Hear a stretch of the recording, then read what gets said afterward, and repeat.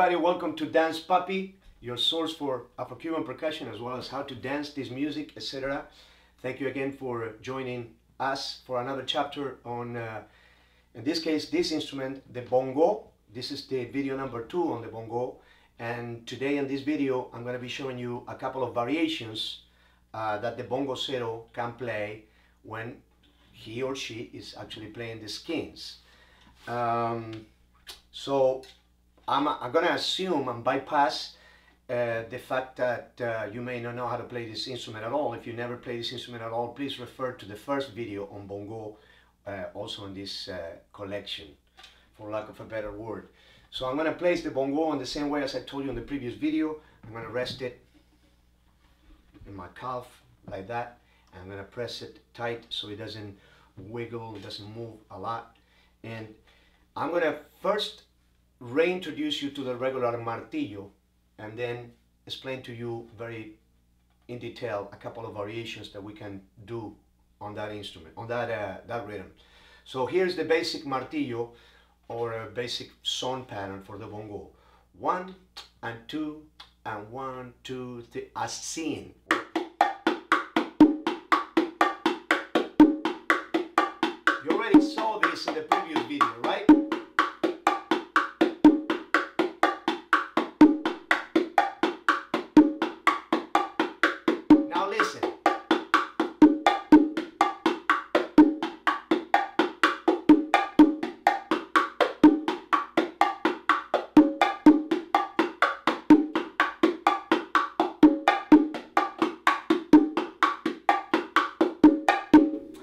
Okay, so now we're going to analyze this very slowly, but understand that now my pattern has become a two-bar phrase. So I'm cycling my rhythm in two counts of 4-4.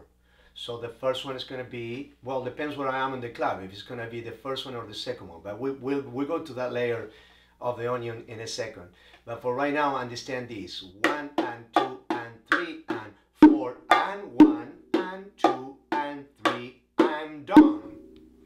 Very slow, very slow, all right?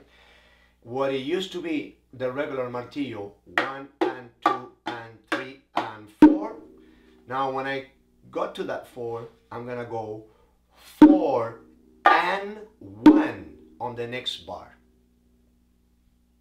Okay, so here we go. One and two and three and four and one. What is this sound here? I showed you in the previous video. Resting on my leg, four and one. Four and one. Nice solid open on one. So here comes the tricky part. When I'm done with this one, I can't put the pickup of my thumb and continue with my high note because I would be flipping the rhythm around. And I already played one, four and one. Therefore, I'm going to continue with my touch, with my front touch, and I'm to go four and one and front touch, and two and three and done. I'm done. And then I start the cycle again. One and two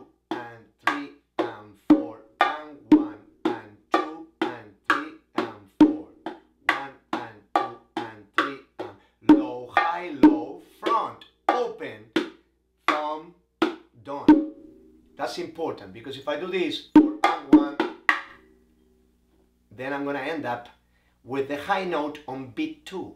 And remember that high note needs to be in one and three. That means that I'm gonna flip my martillo around. So remember, in all these Afro-Cuban instruments, never sacrifice your groove and coming back on time for a variation. So if you play a variation, you need to come back in time and know what's going on and feel it, feel the variation within the cycle of the regular basic pattern. Okay? So I'm gonna play straight for a second and then I'm gonna bring the variation in and then you're gonna hear the, the change.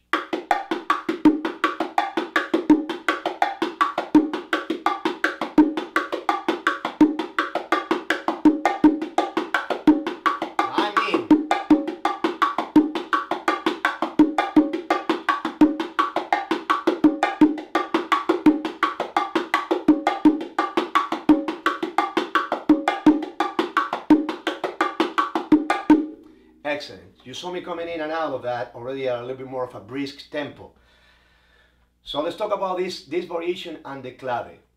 I'm putting this variation, the 4 and 1, to end up in the 1 on the 2 side of the clave. So remember that this most of this rhythm that is going to be, this music that is going to be accompanying this, this rhythm is played with regular son clave, not rumba clave. There is a chapter for, for the clave on, on this series too. Refer to that if you need further explanation. But basically, I'm playing over this pattern. And I'm to put my pupaku to end up here. Pupaku Upaku. Upaku. So basically I'm putting it at the very end of the three side of the clave, eh, hitting on the three side of the clave of son clave, pa, pa, pa, pa, pa, pa, pa,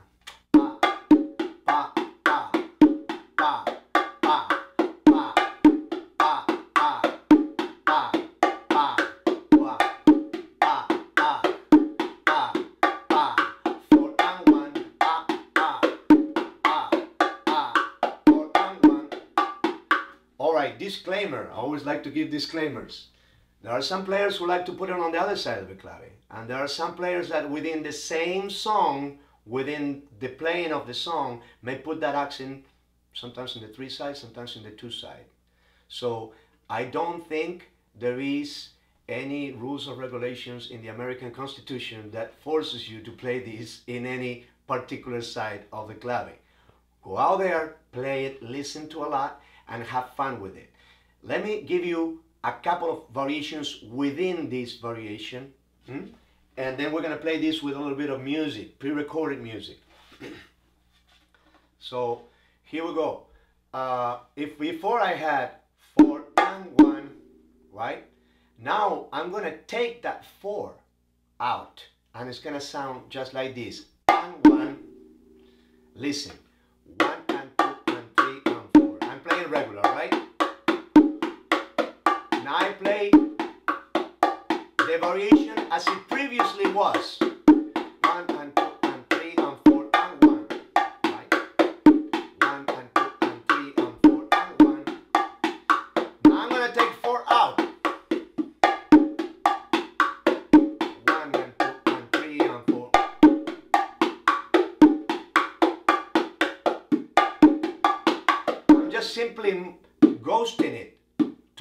Myself in place, but my accents now are going to be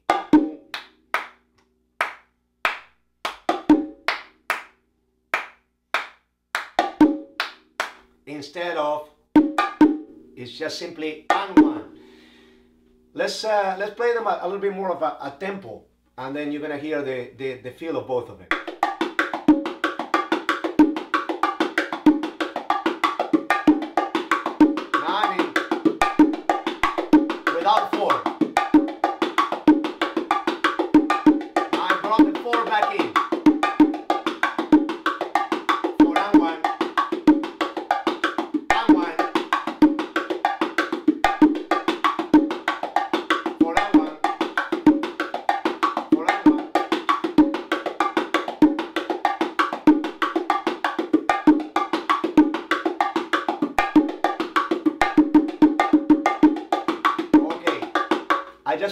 Another little frill in there. I don't want to break that down, that one down, but I want to give you a concept. That new variation or golpe, the pacon or the pompacon, it gives me an anchor place from which I can depart, put some other variations, and end up on that paco. So if I'm listening to that clave, mm. paco, paco, Paco, Paco, Paco, Paco. Hmm? So I can use that pretty much in a way, without opening a whole other can of worms in here, in a way as a quinto player in the quinto.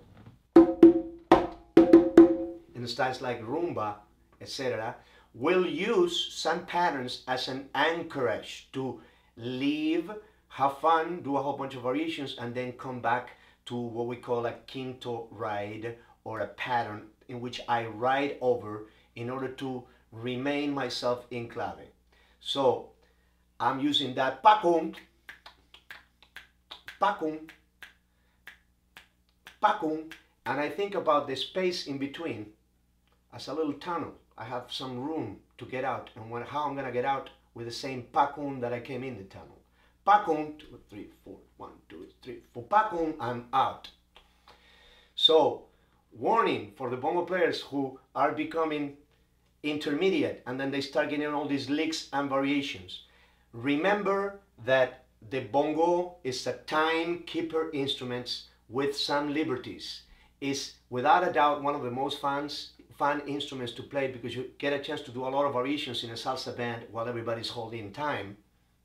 But don't forget that you need to come back to your martillo or hammer. You cannot continue just in a variation and never coming back to your basic pattern. It's a common mistake, in my opinion, and my, just my humble opinion, to forget that you need to help carrying the groove when you're playing in the martillo and not just to play variations and all of a sudden you it sounds like you never stop playing a solo during the whole song. So you play in and out you play in between the lines of the lead vocalist you use your flavor your your capacity to choose spots spots between the melody uh, so um, let's do these uh, variations that we did with a little bit of accompanying music. I want to thank again in this video uh, the application Salsa Rhythm, which is the application that I'm using to back me up. And please notice that in this application, I selected out, which is one of the great features of this application. I selected out uh, the campana because if I'm playing bongo, I'm not going to be hearing or playing the campana because the campana is played by the bongo player. And we're going to see that on the upcoming video shortly. Um, also, I put the conga drummer playing in only one conga drum instead of two because theoretically the conguero, as I explained to you when I was teaching you how to play congas and two drums in the son music or son based music, you were going to open up to the low drum when in the section where the bongo player picks up the bell. So all this is related uh, and I'm trying to, to, to stick to that. So um, check it out.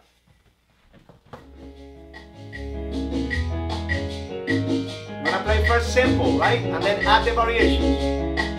Hear the clave? Ah, ah.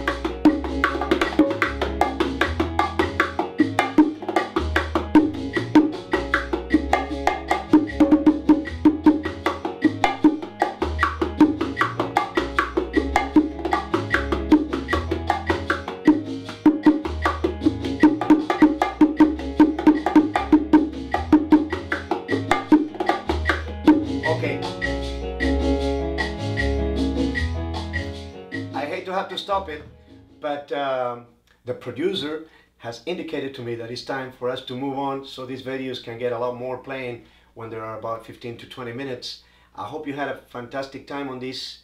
Please check us out at musiccandela.com. That's my website.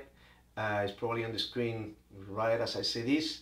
And um, what else I want to tell you? The next video is going to be on the other instrument that this bongosero or bongo player plays, which is a main instrument in Afro-Cuban son-derived music, or we know as salsa, guaracha, mambo, which is the campana. So stay in tune for the campana video coming right up. Thank you.